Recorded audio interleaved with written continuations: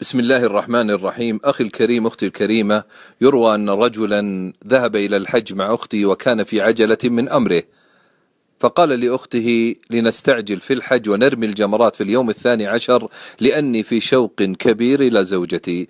فقالت الأخت بالعامية من زينها فإذا بتلك الزوجة في بلدها ترى في المنام أن هذه الأخت قدمت من الحج فقدمت حجها هدية لها. ففسرها الشيخ وقال لعل تلك الأخت قد اغتابتك بكلمة فإذا بحجها يقدم هدية لك.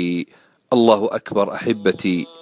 حجها ذهب هدية للزوجة بكلمة لا نعجب أحبتي أن يحدث ذلك إذا تذكرنا أن عائشة رضي الله عنها عندما أشارت على إحدى زوجات رسول الله صلى الله عليه وسلم أنها قصيرة فقال الرسول صلى الله عليه وسلم يا عائشة والله لقلت كلمة واحدة لو مزجت بماء البحر لمزجت أي لو خلطت بماء البحر لغيرت لونه ورائحته.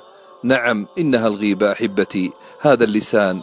أخي الكريم أختي الكريمة خطير جدا.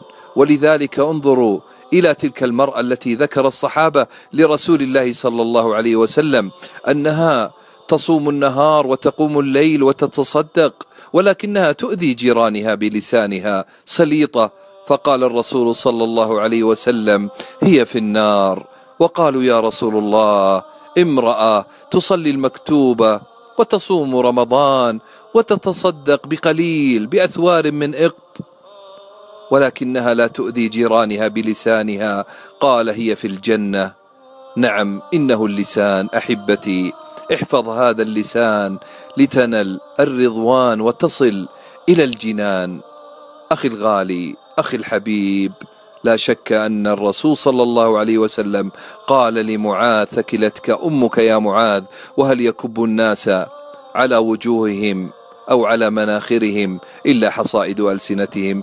أسأل الله أن يوفق كل من نشر هذا المقطع وأن يكون في ميزان حسناته.